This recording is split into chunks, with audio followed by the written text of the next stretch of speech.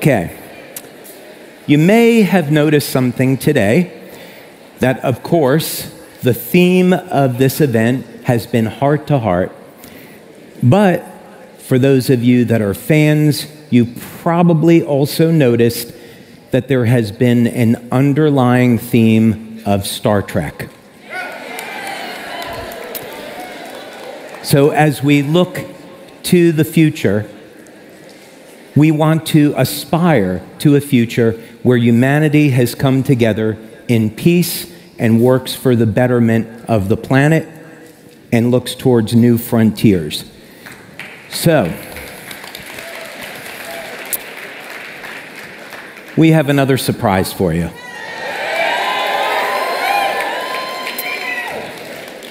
Jeff was up here a little bit earlier talking about our new corporate office in Utah. This is going to be uh, 25,000 25, square feet, and we have the entire top floor of this building. So when it's done, we hope that you will come and visit. And when you do, and we have our grand opening, you are going to be treated to an enormous brand partner welcome center.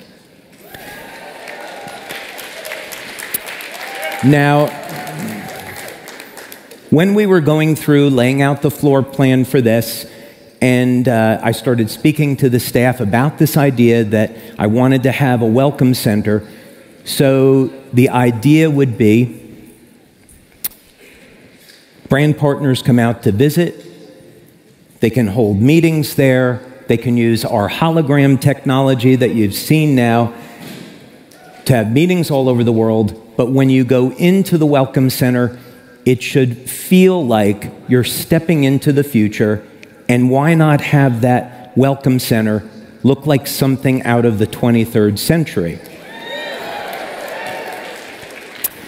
So, in order to do that, I started speaking with Jim Caldwell, who has connections in Hollywood. And as it turns out, we got someone from Star Trek to design it. So let me tell you about this person. His name is Doug Drexler. He has 43 years of experience in film and television. And he's been involved in makeup, conceptual design, illustration, graphics, and making full scale models.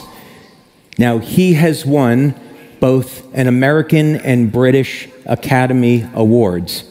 And he's been nominated eight times for Primetime Emmys, winning twice. He is a Saturn Award winner, a Visual Effects Society, and Peabody Award winner. Futurism has defined Doug, and he spent 20 years working on Star Trek. In fact, we had a very nice conversation about his relationship with Gene Roddenberry. So this goes back to the time of the next generation, Deep Space Nine, Voyager, Enterprise, Picard, Battlestar Galactica, and the Orville. So before we bring Doug out, we've prepared a special video to take a look at some of the things that he's done. So let's go ahead and take a look at that now.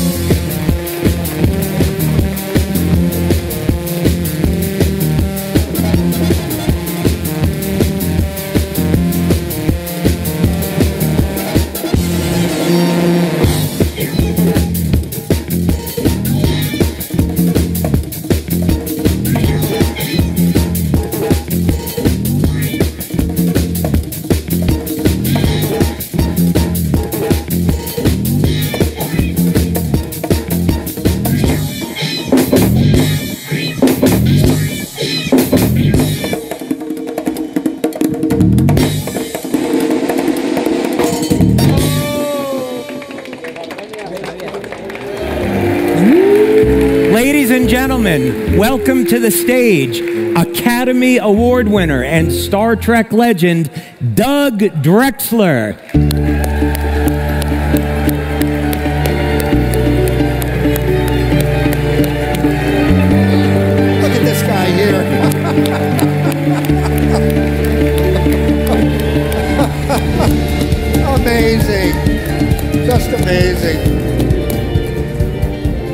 My God, it's so exciting to be here. I can't believe it. I, I, am so impressed. This is the first time I've been to one of the LifeWave, con- conventions, and I'm just utterly blown away by the enthusiasm and the excitement in this room. And to be here is just incredible.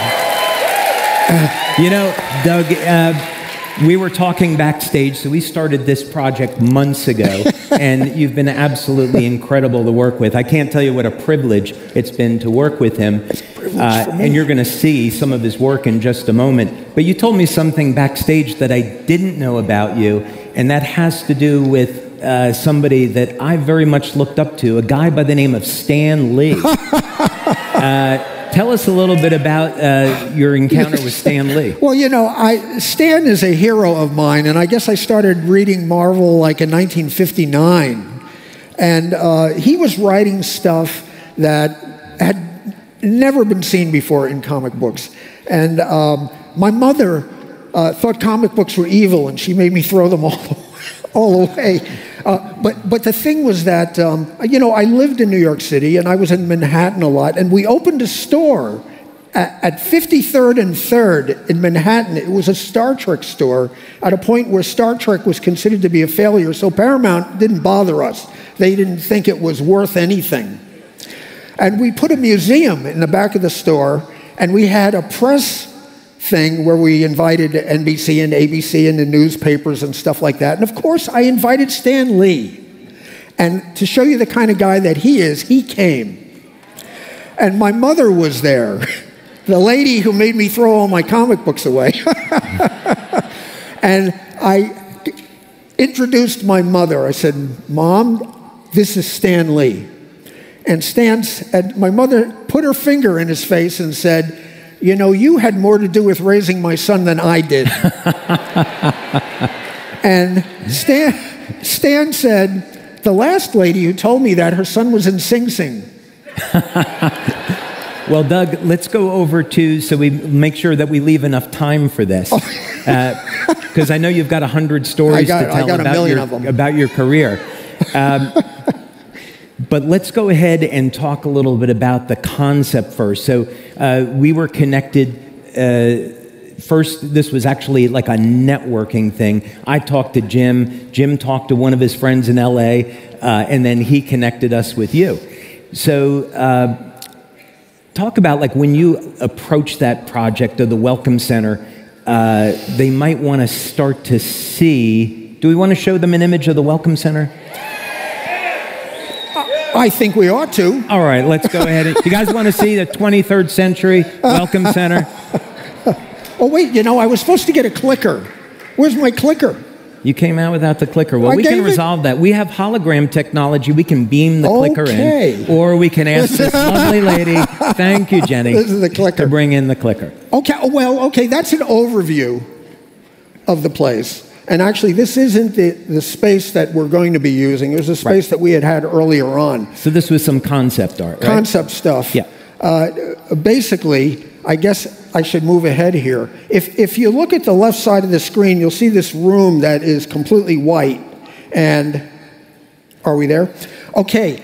This first room, and I'll refer, with your permission, I'll refer to it as the Holosuite Hollow Suite works. where it's almost a white void where it you're kind of it's kind of cleansing your palate from the outside world to enter this world of LifeWave and the only thing in that room which is something that looks suspiciously like the monolith from 2001 that this gentleman will beam in into that holographic booth Yep. and impart knowledge just like the monolith did. And basically, I think that was kind of our inspiration. It kind of organically grew into that.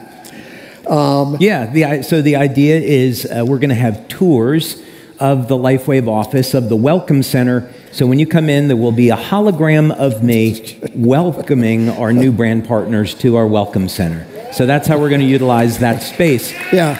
But um, what's really cool about this is that the, the way the walls are built out is you don't know that there's anything else beyond you, this. You don't know that, well, you just look like you're in a room, but if we zip over here, which is one of the walls, these walls actually will rise up into the ceiling, revealing this tunnel.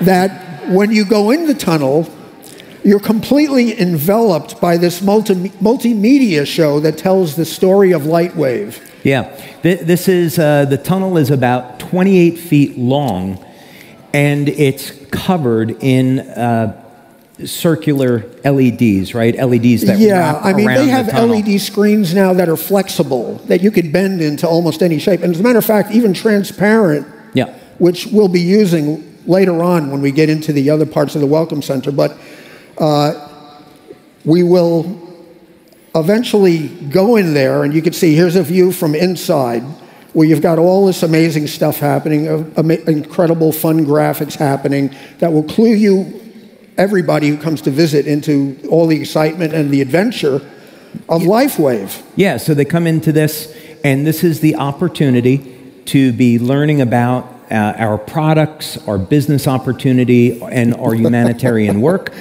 So, as people come into this part of the Welcome Center, because it's massive, again, I think most people would be thinking, oh, this is yeah, the Welcome Center. That has to be it. There can't be any more. Can't be any more. Uh, but there's more. So, what will happen is at the end of this tunnel, another door will open up. And uh, I'm just going to zip through here. Uh, the next room is kind of a cavalcade of LifeWave uh, products, and it's filled with data centers that will be interactive and will impart knowledge about all of the different amazing products that this guy has come up with.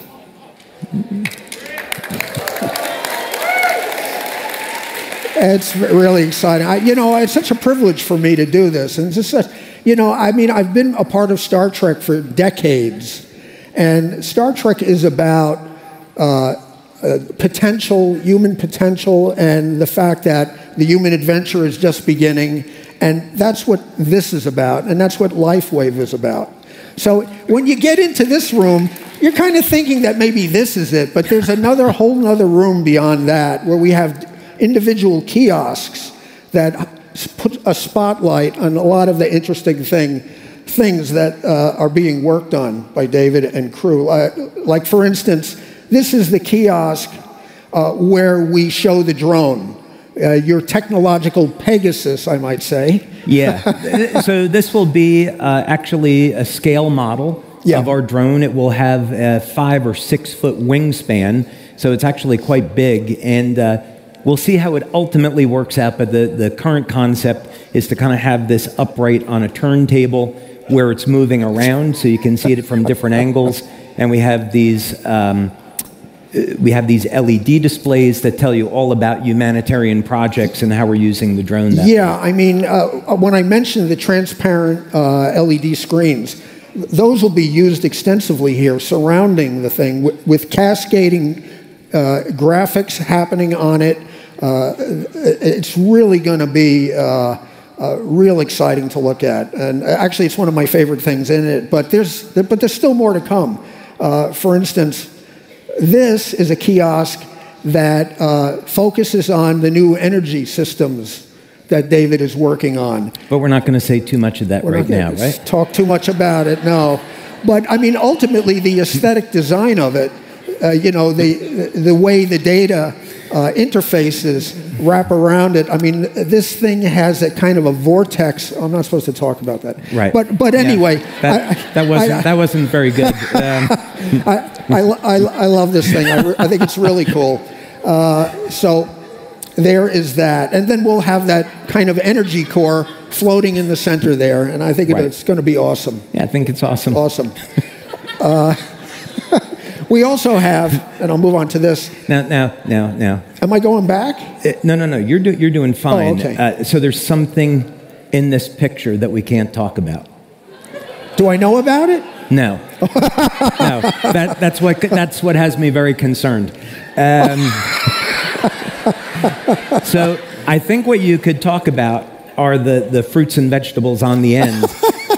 that would be safe. But talking about the thing in the middle is probably something we're not going to talk about. I can't talk about that. Um, sorry. I don't even know what he's talking about, so I can't. I, I, I can't. I can't give away anything. I, I would if I could, but Yeah. so this is our agricultural center, and uh, we've been. It's no surprise we've been developing new technology. Uh, to grow fruits and vegetables in an entirely different way and to give them properties that you wouldn't normally find. And uh, we want to have a section of the Welcome Center to uh, feature this future technology. So I think that's safe. okay. Yeah. That's that's all we can say about that. Yeah. Let's see you what, let's see what I- lies It makes me thirsty. I really could use a drink of water right now. Yeah. Okay, I'm going to move on to the next. Ne- oh, did I hit the right button? Uh, there we go. This is just another view uh, uh, of the overall, where we have the, the, the what do you refer to it as the the the, the whirl, the petals, the flower thingy on the top. Well, anyway, That is thing the on the roof. LifeWave X39 logo, and That's it, and it it. is it is nothing more than that.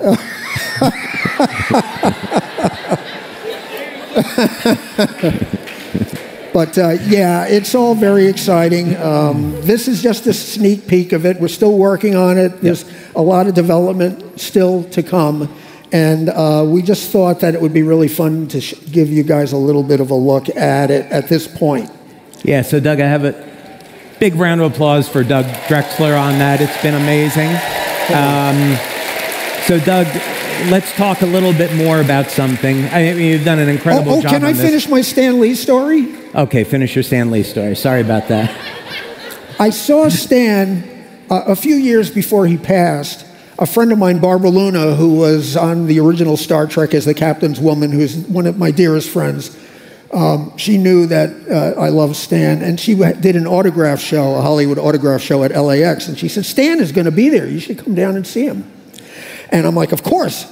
Uh, I'm there. And I went, and he's in the green room, and the guy's like 96 years old, and he's like the ever ready Energizer bunny. He's back there cracking jokes and signing things, and uh, he's just the most amazing guy. And one of his talents, and kind of like this guy here, is that he will make anyone he's talking to feel like the most important person in the room.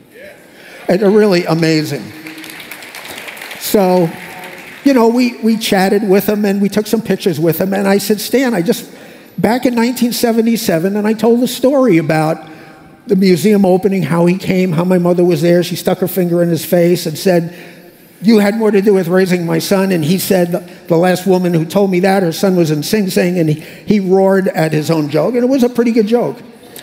And uh, I said to him, Stan, I just wanted to let you know that you were my surrogate father.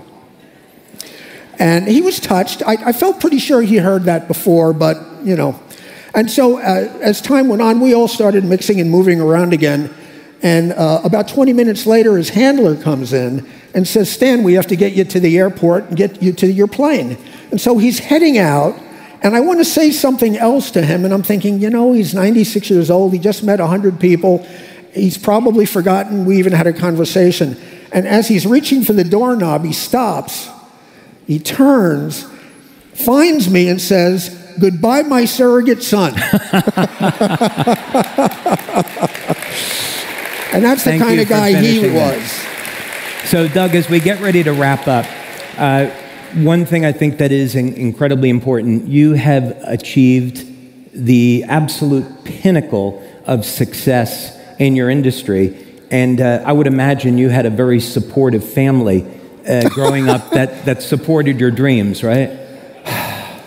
I, the thing is, is that my, both my parents were Depression era kids, and then World War II happened, and you know, it's like I think the attitude was. I mean, they weren't stopping me, but their attitude was, you know, get your head out of the clouds and Uh, that, that's crazy stuff. No one does that kind of thing. And, and I have to say that one of the things that David said that really strikes me is that, and not that my parents made fun of me, although my father did say, if you spent half as much time on your schoolwork as you did on a TV show, you'd be okay. And he did go with me to the Academy Awards, so. Ladies and gentlemen, another big round of applause for Doug Drexler. Doug, thank you so Oh. much. Thank you so much, Doug. You Thank you. Thank you. Thank you. Thank you. Thank you, Thank you.